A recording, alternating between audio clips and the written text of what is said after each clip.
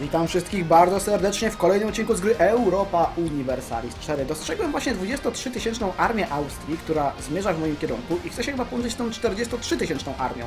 Nie powiem, żeby mi się to podobało, wręcz przeciwnie, bardzo mi się to nie podoba, z tego względu, że mam zero manpowera, więc trzeba będzie zacząć kombinować i to mocno kombinować, gdyż naprawdę sytuacja troszeczkę, troszeczkę zaczęła wymykać się spod kontroli, bo moje armie są coraz słabsze, a ich armie ciągle rosną, ciągle rosną, ciągle nowych sojuszników wzywają do tej e, wojny głupiej. I ja się zastanawiam, skąd oni mają tyle manpowera, czy może oni się po prostu zadłużają? No nie wiem, tak czy jak wiem, że po tej wojnie cesarstwo już raczej takie same nie będzie. Nawet jeżeli ja w tej wojnie dużo nie wezmę, no to po prostu to cesarstwo wybuchnie. Oni wybuchną i od buntów, i od zadłużeń, od wszystkiego. Nie będą mogli się już rozwijać tak naprawdę, więc jedyne co ja muszę zrobić obecnie, no to po prostu zgromadzić moje armię w takim jednym sensownym miejscu, które nazywa się Linz. Dlaczego tam? A, dlatego, że tam stoi 2000 armia Trieru, raczej stała, ponieważ już nie, już nie istnieje. No, taka, taka tam, wiecie, ciekawostka. Była, była, prawda, i się zmyła, jak to mówią. Ja natomiast zostawiam teraz tutaj armię w Wiedniu i ruszam na Pożony, czy tam Pozosny, Pożony, nie wiem jak tam się czyta. Z tego względu, że jak zapewne już zdążycie zauważyć, tutaj jakaś 17-tysięczna armia mm, Alzacji stara się manewrować mnie na moich terenach, co mi się bardzo nie podoba. Chętnie bym włączył jakieś, nie wiem, tutaj rzeczy pokroju, czy ja wiem, nie Force March, czy coś w tym stylu, ale chyba nie mogę, bo nie mam idei ofensywnych. Trochę mnie to boli, gdybym miał idee ofensywne, to mógł sobie ten Force March załączyć i bym ich po prostu gonił jak szalony, jak głupi, no ale niestety nie można mieć wszystkiego, albo arystokratyczne idee, albo Force March, czyli bieganie szybkie po prowincjach. Znaczy jak widzę, że tutaj 24 tysiące Austrii, czyli ostatnia armia austriacka wbiła się w Linz. Ja tam już podsyłam moje posiłki, może zdążą one tam dojść, doszły jedne, dojdą może i drugie, dojdzie może i jeszcze te, znaczy te zdążą może jeszcze dojść i może jeszcze te 26-tysięczne uda im się również tam dobiec. Gdyby ta 44-tysięczna armia również tam dobiegła, to byłbym mega, mega, mega, mega, mega, mega, mega, mega zadowolony. Chwila, moment, czy ja mogę włączyć Force March? Ej, mogę! W sumie, ej, ja myślałem, że Force March jest wtedy, kiedy ja mam zmaksowane idee militarne, a tu się okazuje, że nie! Hello, hello, hello, no to jak mamy, no to włączamy i biegniemy, no hello. Drogie pany, drogie pany, proszę mi tam natychmiast dobiec, musicie uratować sytuację, dalej, dalej, dalej, dalej, dalej. Dobrze, uratowaliście. Teraz jeżeli ta 43-tysięczna armia dobiegnie, to już będzie sytuacja uratowana moim zdaniem. Dalej, dalej, dalej, dalej, biegnijcie, biegnijcie, biegnijcie, biegnijcie, wierzę w was, wierzę w was, no kurwa, no dajecie, tak, czadu, dajecie czadu. Wspaniała husaria, wspaniała odsiecz.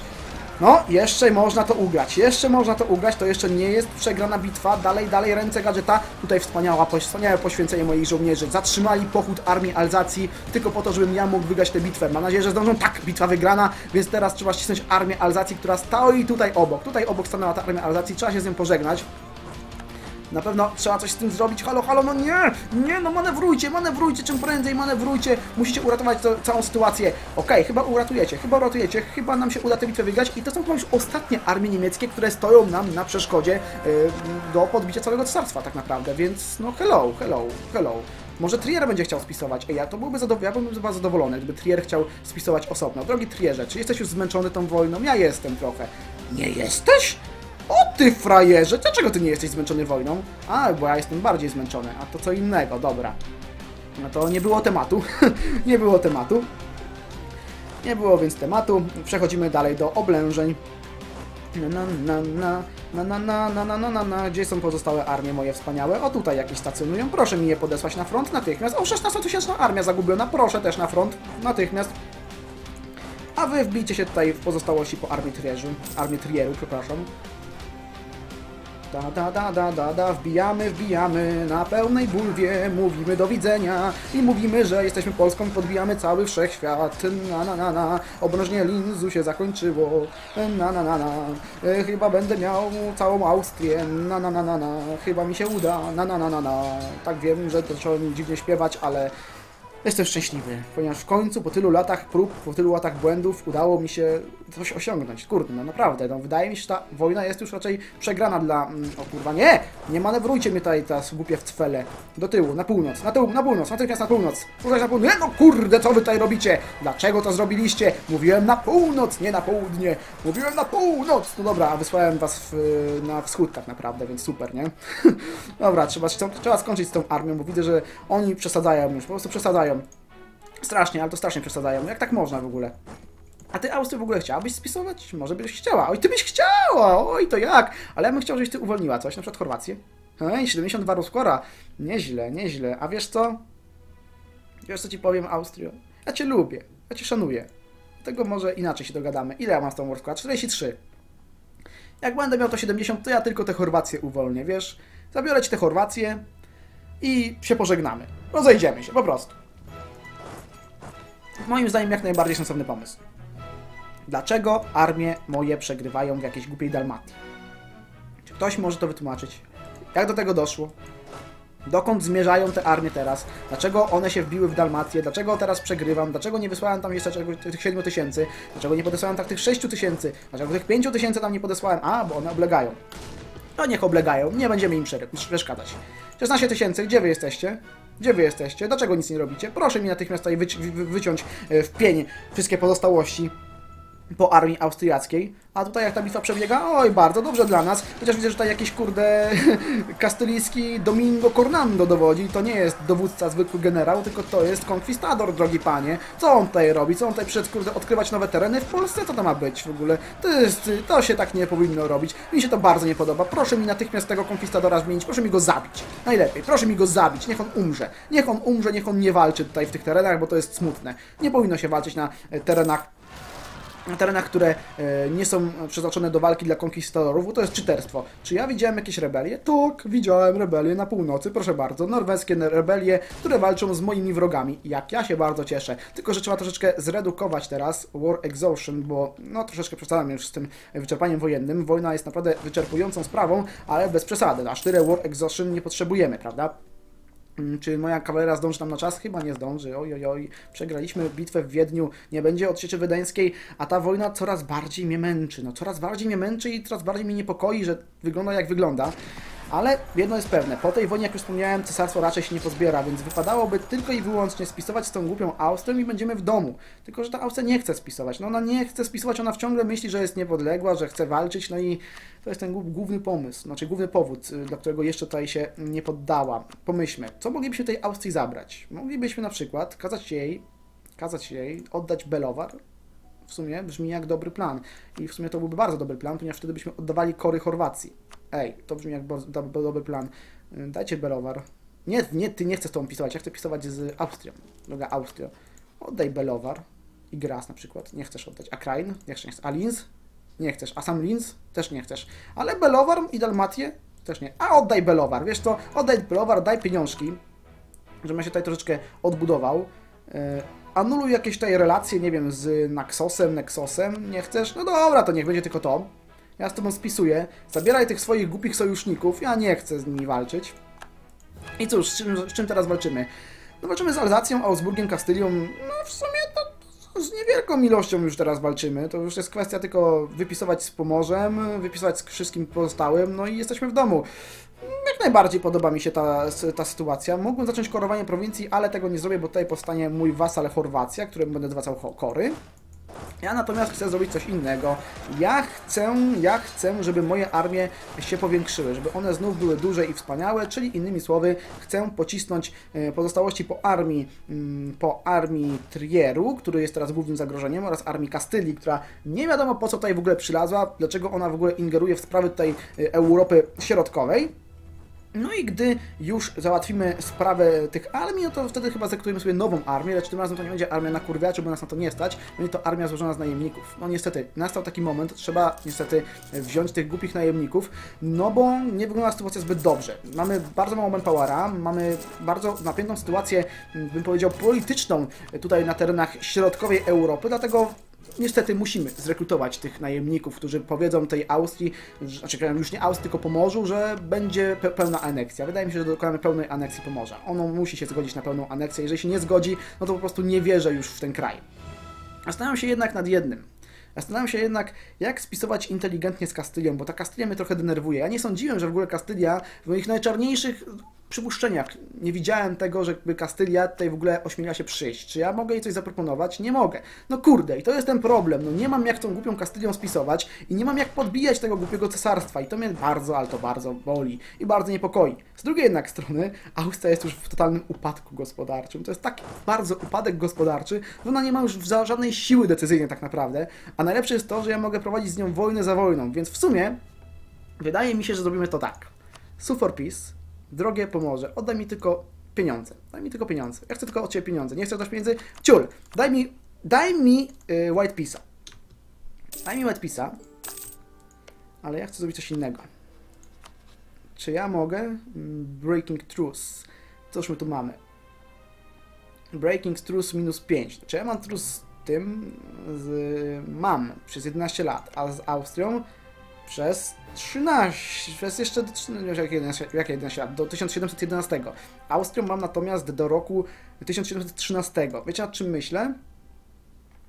Jakkolwiek szalenie by to nie brzmiało, zaatakujemy znowu. I to teraz. To jest genialny plan. Nie udało nam się niestety zabrać zbyt wiele cesarstwa, ale to nie była wojna o to, żeby coś z tego cesarstwa zabierać tak naprawdę. To była wojna o to, żeby ich wymęczyć, żeby oni się zmęczyli, żeby oni zrozumieli, że nie mają ze mną najmniejszych szans. Ponadto, proszę bardzo, sojusz z Wielką Brytanią, proszę bardzo, ona nam pomoże i ona nam pomoże, wiecie z czym? Z Brandenburgiem. Brzmi jak genialny plan, prawda? To nie wszystko. Stworzymy wasala, który nazywa się Chorwacja. Proszę bardzo, gdzie jest, gdzie jest Chorwacja? Jest Chorwacja. Będziemy zwracać Chorwacji kory. I teraz zrobimy to tak. Zaatakujemy Brandenburgię, co sprawi, że do wojny dołączy Francja, która obecnie walczy z jakimiś tam koloniami. Francją zajmie się Wielka Brytania, ja natomiast będę sobie rozbierał Austrię oraz Brandenburgię. Albo, jeszcze lepiej, zaatakuję po prostu Palantynat, który ma sojusz z Austrią, Oldenburgiem and Liège, więc w zasadzie kompletnie mnie to w żaden sposób nie boli. Innymi słowy, myślę, że właśnie w tym momencie moja Wielka Rzeczpospolita będzie największą imą w Europie. Jeżeli ktoś jeszcze nie rozumie mojego planu, to jeszcze bardziej to wytłumaczę.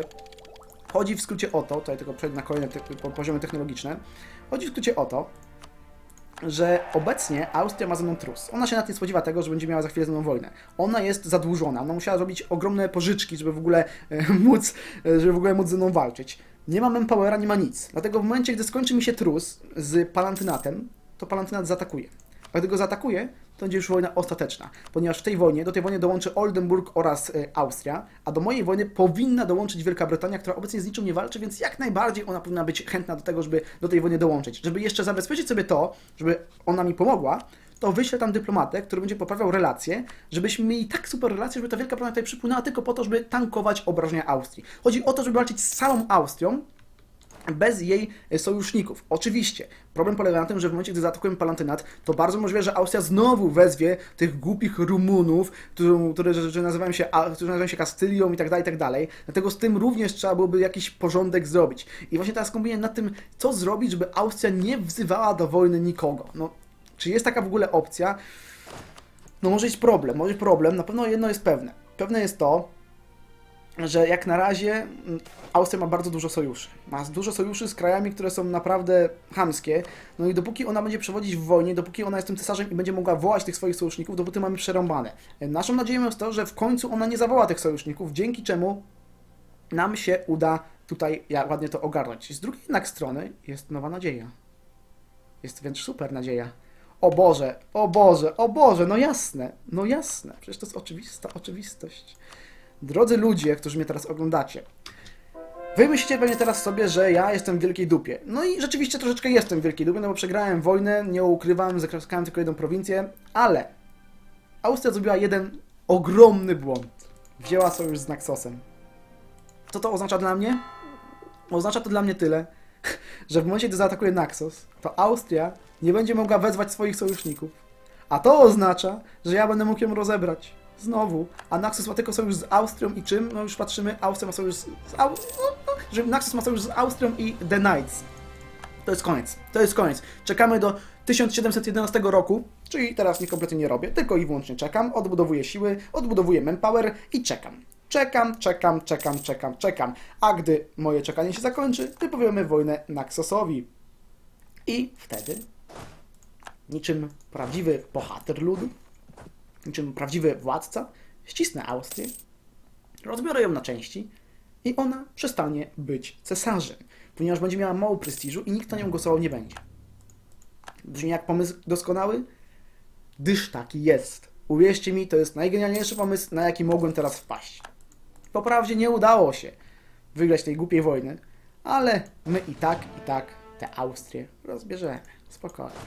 Co się odwlecze, to nie uciecze. Ale Na pewno potrzebuję też generała, który poprowadzi teraz moje wojska na północ i ściśnie tych buntowników, bo o nich szczerze powiem zupełnie zapomniałem. Jak oni tam zrobią porządek, ponadto widzę, że inne rebelie również się zbliżają i to także na północy. Muszę w końcu wyrżnąć tych kolesi z inną kulturą, bo oni mnie już po prostu denerwują. Po prostu ile można? No ile można być Szwedem? Ja się pytam, no ile można być Szwedem? Całe życie będziecie tymi Szwedami? Weźcie się w końcu zasymilujcie, bądź, bądźcie częścią mojego swojego kraju. Wszyscy, wszyscy macie być częścią mojego kraju. A my spłacamy pożyczki. A co to? 11 tysięcy y, rewolucjonary w Kolmie? Gdzie jest Kolm? Klikam i widzę gdzie? Halo, halo? Czy Kolm to nie jest przypadkiem prowincja gdzieś tutaj?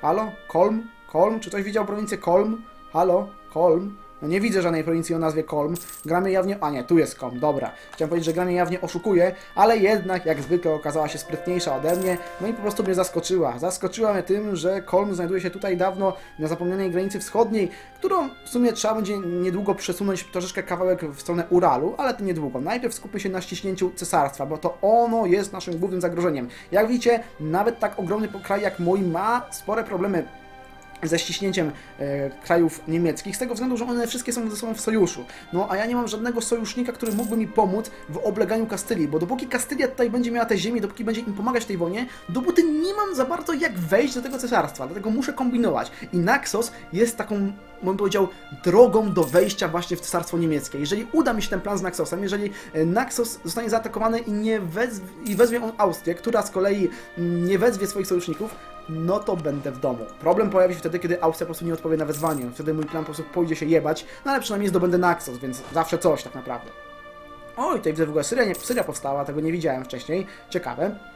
Natomiast gdzie są moje żo moi żołnierze? Gdzie są moje dziecię? Gdzie są dziecka moje? Dlaczego nie poszliście tam cisnąć y, tych ludzi w kolmie? Co to ma być? Co to ma być? Mieliście ścisnąć tych kolesi i czemu ich nie ścisnęliście? I dlaczego ta armia tutaj jeszcze nie oblega i dlaczego nie cisnę, nie śmiecie się drugich buntów? Gdzie jest y, druga armia 32 tysięczna? Tutaj jest. Proszę natychmiast ruszyć do kolma. Natychmiast, natychmiast ścisnąć i pożegnać.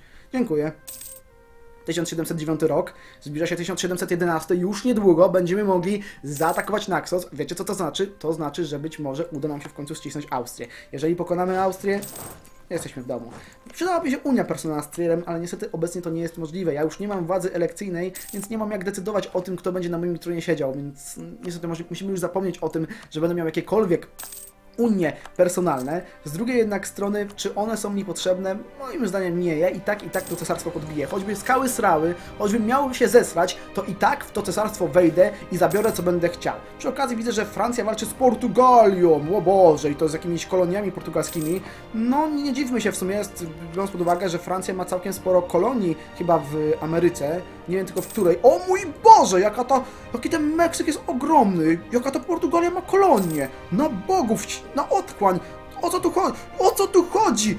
Widzicie to, co ja widzę? Ja to widzę, nie wiem czy wy to widzicie, ale ja na pewno to widzę, że Kastylia jest totalną imbą ostateczną. Ile ona pieniędzy stąd wyciąga? Ja już patrzę, gdzie jest ten handel? 10 dukatów jest tutaj transferowane, tutaj 8 dukatów, na bogów, 2 du... Na bogów! O co tu chodzi? Kto to zrobił? Dlaczego Kastylia jest taką imbą? Na bogów, na otchłań, na otchłań stwórcy, na Inosa, na Beliara, tak się nie robi. Tak się po prostu nie robi. To było, to było po prostu wypowiedzenie wojny Kastylio. Nie powinna być, nie powinnaś być aż tak imperialistyczna. Z drugiej jednak strony widzę, że jest problemik, Kastylijko. Ty jesteś oblegana przez Francję. To jest idealny moment. Oj Boże, jaki to jest idealny moment. Idealny do tego, by zaatakować Palantynat. Tak, zaatakować Palantynat. Nie, I nie tylko.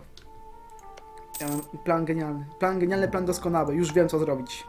Jezus Maria, jestem geniuszem. Jestem geniuszem zbrodni. Za chwilę zobaczycie, co ja zrobię. Jeszcze rok. Jeszcze rok i wielki plan wejdzie w życie. Wielki plan pod tytułem Ciśniemy wszystko i wszystkich. Jeżeli Austria dołączy do wojny po stronie Naxosu, to jest koniec. To to będzie koniec. Po prostu jawny koniec. Halo. Drogi panie. Drogi panie. Drogi panie Naxosie. Jest 1710 rok. Mamy trus do septembera. Spokojnie, spokojnie, poczekam. Ja mam czas. Ja mam spa- A nie, do decembera. O, to, to przepraszam. To jeszcze rok. Ja mam czas. Jestem cierpliwym człowiekiem. Manpower mi się zregenerował, więc też nie muszę na niego narzekać. Ja wrócę. Ja wrócę po ciebie, droga Austrio, i się skończy to twoje rządzenie w cesarstwie. Nazwijmy to rządzeniem, ponieważ nie oszukujmy... Nie! Nie! Nie! Dlaczego teraz? Nie! No ty głupia gro! Ty głupia dziwko! Ty głupi menelu, głupi mój królu, głupi idioto, dlaczego teraz umarłeś? Nie! Powiedzcie, że ten kolejny ma milion lat. Powiedzcie, że on jest... Boże, on jest amebą! Nie! Dlaczego moje plany nigdy nie wychodzą? Dlaczego tak się dzieje? Dlaczego ta gra zatrzymuje mój rozwój? O co tu chodzi? Jeszcze kardynał mi tutaj odszedł. Boże święty, ta gra mnie nienawidzi. Koniec wielkiego planowania. Nie będzie ciśnięcia Austrii, bo oczywiście, no oczywiście, musiało, musiało, musiało jedno jełopstwo umrzeć. Zostawiło na tronie, raczej na, jako spadkobiercę jakiegoś Jana Olbrachta von Habsburga 144 i co ja mam z nim zrobić? Mam 7 lat teraz czekać, 7 lat mam czekać, aż w końcu ten król łaskawie dorośnie. No ja pierdzielę, ile można czekać? Dlaczego Pomorze ma całą Danię? Dlaczego koalicja na Pomorze nie powstała? Co się dzieje w tym cesarstwie? Dlaczego mam wrażenie, że ja mam z tym coś wspólnego? Nie wiem. Wiem, że przechodzę na 25. technologię militarną, bo po prostu mnie wili teraz wszyscy. Przechodzę na... Na co przechodzę? Mam nową, mam nową jednostkę chyba, tak? Czy to za jednostka? Co ma nowe działa, z tego co rozumiem? Tak, Royal Mortar. Bierzemy nowe działa. Bierzemy nową ideę. Raz. Natychmiast. Nowa idea. Gromadzimy armię. No i czekamy 7 lat. Kurwa mać, 7 lat. Dlaczego ten król musiał teraz umrzeć? Nie mam bladego pojęcia. Po prostu ta gra słucha tego, co ja do was mówię i ona reaguje na to chyba, no bo to jest jedno, no jedyne rozwiązanie. No i teraz przez 7 lat nie mogę nic robić, muszę tylko czekać, aż moje siły się odbudują. A miałem taki wspaniały plan, żeby zaatakować ten Naxos, żeby on wezwał Austrię, ja bym pocisnął Austrię, potem zaraz po pocisnięciu Austrii zaatakowałbym Palantynat, Austria byłaby już bez sił, a, a z racji, że Kastylia jest oblegana, to by nie odpowiedziała na wezwanie Austrii. Wszystko by się ułożyło po mojej myśli, ale nie! Ale nie! Bo wziął, kurwa i umarł. No wziął i umarł jebany Habsburg. No ja nie wiem, ja przepraszam, że się tak bulwersuje, ale to jest po prostu... No jak tak można? No jak tak można, no? No kurde, no człowiek miał raptem 30 lat. Jedną wojnę przegrał, już się powiesił. No co to ma być? Co to ma być? To pewnie Ottomani. Oni pewnie jakiegoś zabójcę podesłali i powiedzieli zabij, zabij tego króla, bo kurde, my tutaj jeszcze będziemy wielkim imperium. Gówno! Jak tylko król mi urośnie, jak te 7 lat minie, to was ścisnę, jebane Rumuny. Będzie koniec. I właśnie teraz mi się te wszystkie truse pokończyły. O, i to jest ten idealny moment, żeby zaatakować tego głupiego Naxosa, Nexosa, ale nie mogę tego zrobić, bo ten głupi król umarł! Potknął się, kurde, o szatę, nie wiem, skręcił kark, nie wiem, wypił wodę, udusił się tą wodą, utopił się w tej wodzie, nie wiem, ktoś wylał, nie, nie, wiem, ktoś wylał tę wodę na ziemię, powstała kałuża, on się potnął twarzą, tam wyleciał, utopił się. Mogło tak być, nie wiem, no, był idiotą najwyraźniej, no bo nie widzę innej opcji. Co mogę robić w międzyczasie? No mogę co najwyżej nawracać prowincję na jedyną słuszną wiarę, no, standardowo. No i mogę nawracać kultury, no. To jest jedyne, co mi teraz przychodzi do głowy.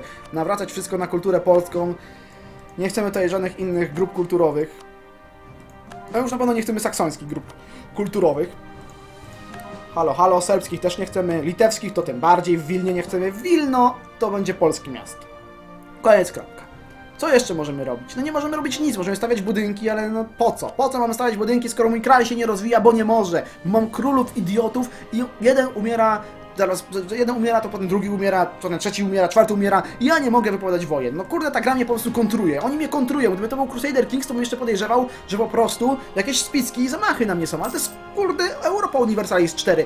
Dlaczego wszystko jest przeciwko mnie? Dlaczego ta gra mnie nienawidzi? Ja już dawno byłbym, kurde, pod tutaj, mm, pod tutaj Austrią, tutaj w tych terenach, już dotąd by sięgała moja Rzeczpospolita, gdyby nie to, że ci królowie tak umierają jak ci jebani idioci. I jeszcze raz przepraszam, że się tak zbulwersowałem, ale to jest po prostu hamstwo. Twórcy gry po prostu totalnie sobie ze mnie teraz drwią. Pewnie jakiś człowiek z paradoksu ogląda moją serię i jakoś podświadomie wysyła mi jakieś tajne pliki na mojego Steama, żeby mi tutaj grę skrakował i żebym, kurde, nie miał tego e, żebym e, nie miał dobrych królów. I tak to teraz wygląda. Na pewno tak jest, bo to wcale nie jest tak, że ja jestem słaby i że nie przewidziałem tego, że Austria weźmie sojusz ze wszystkimi dookoła, żeby się przede mną obronić. Kurde, no, no kurde, ile ty jeszcze masz, ile jeszcze muszę czekać, ty głupi jełopie, ile ty masz tych lat? No powiedz mi, ile masz lat? Masz 9 lat, ty nawet czytać nie potrafisz, rozumiesz, że nawet czytać nie potrafisz. I w ogóle, co to za rada regencyjna 020, jakaś wybitna, kurde, widzę, no jakieś lewaki się zebrały chyba i zaczęły dyskutować o tym, jak powinien wyglądać ustrój w naszym kraju. Hmm, nie potrafią pisać, nie potrafią walczyć, ale mówić to każdy, każdy potrafi mówić, bo najważniejsze, mówić o reformach, ale nigdy ich nie przeprowadzać. Nigdy ich nie przeprowadzać, bo to jest, na tym można się poślizgnąć. Tak jak mój król zapewne poślizgnął się na kostce mydła i sobie kurwa kark skręcił, bo innej opcji po prostu no nie widzę. No jak człowiek w kwiecie wieku, który nie dowodził armią i który nic nie osiągnął, po prostu mógł umrzeć. No jak on tak wziął i umarł, ja tego nie rozumiem. Historia, proszę mi pokazać historię. Co się stało? Interregnum, bla bla bla bla bla bla bla. Co się tutaj dzieje? Stanisław I. I co się stało? On walczył przez 5 lat o Forpommern. Przegrał. No ale zabraliśmy coś tam. Skończyło się White Peace'em. I potem co? I co się stało? No co się stało tak naprawdę? No nic się nie stało, no bo kurde Kurde, nic się nie stało, no kurde, no nic się nie stało, bo w 1710 po prostu wziął i umarł, no. Rządził raptem, no, no, rządził raptem 9 lat. 9 lat porządził i umarł. No stwierdził, że to jest to, to jest ten moment. To mi się wydaje, że to jest dobra sytuacja do tego, żeby w końcu wziąć po prostu sobie i umrzeć. Bo pomyślałem sobie ostatnio, taką miałem koncepcję w ogóle, że Rzeczpospolita nie potrzebuje władcy. Myślę, że oddam władzę szlachcie, która jak widzimy ma jakże super statystyki 0-2-0. Nie zdziwiłbym się, gdyby to był jakiś tam, nie wiem, wiem, Bronisław Komorowski, czy inne dziwne e, olechowskie ścierwa, co to mówią, że wcale, e, wcale, wcale nie było tak, że jakieś podpisy zbierali, kurde, e, pod referendum. Nie, nie, wcale, wcale, kurde. Zdenerwowałem się, zdenerwowałem się, koniec hejtu, koniec hejtu na grę, skupmy się. Co możemy teraz zrobić? Nie będę się westernizował. Nie, nie chcę się westernizować. A, w sumie, ile to zajmie? Ile zajmie westernizacja? Ile? 2400 mm, power in total, bla bla bla, 5 mm, monarch power, no, za długo będzie to trwało. Stanowczo. Jestem za dużym krajem, nie będę się westernizował. Musimy czekać. No, czekamy. Jak ten król urośnie. A jak urośnie, to może będzie nadzieja, że to się uda, no. Ale z czym Austria walczy? Austria? Austria walczy z Kastylią? Dlaczego? O co tu chodzi? Dlaczego Austria walczy z Kastylią? Nie, chwila. Dlaczego Kastylia walczy ze swoimi koloniami? Kolonie Kastylii się buntują. Hello! O, jaki smutek. O, jak mi za... Jak mi smutno. No, no, ja uwierzę. Patrzcie, takie łzy takie łzy po moich policzkach ściekają po prostu, o Boże, aż mokry jestem normalnie, tak mi jest smutno, ale że, że wasze kolonie się buntują, no kto by się spodziewał, że, no kto by pomyślał, że taka malutka kolonia by się zbuntowała przeciwko jakiegoś tam Kastylii, prawda, no kto by się tego spodziewał, no kurde, to już po prostu super, aż, aż mój generał też wziął i umarł, o to samo mudło się pośliznął, bo pewnie zgromadziła się taka grupa, ta Rada Regencyjna, super zajebista, ona zgromadziła taką grupę grupę, komisję śledczą. Oni tak stanęli wokół tego mydła, gdzie się, gdzie się poślizgnął ten mój król. Jak, co zrobić, co zrobić? Musimy to mydło podnieść! Ty szaleńcze, ty chory człowieku! Jak chcesz podnieść to mydło i to ma to zrobić? I nagle wyszedł właśnie z, tam, z tego tłumu ludzi, który tam stał dookoła, wyszedł ten generał powiedział, ja to zrobię. Oni się nagle, tak się nagle spojrzeli i powiedzieli, ty, ty, ty! Ty bohaterze, ty skurwysyński bohaterze! Jesteś odważny, zrób to. No i on podszedł do tego mydła i, już miał je podnieść, ale coś się stało, coś, coś takiego, nie wiem, tak, coś mu powiedziało, że słuchaj, nie podnoś tego ręką, podnieś to nogą. I wtedy, wtedy właśnie, właśnie postawił ten nogę na tym mydle i jeb! I, i umarł i umarł. I, I, w ogóle i ta historia była tak bez sensu, że w sumie myślę, że chyba zakończę ten odcinek w tym momencie, bo jeszcze trochę i powiem coś, czego powiedzieć nie chcę, więc mam nadzieję, że ten odcinek trochę failowy, ale mam nadzieję, że przynajmniej zabawny. Wam się podobał. Pamiętajcie o skomentowaniu odcinka i pamiętajcie, że kurwa Egipt powstał! Tu też o tym pamiętajcie.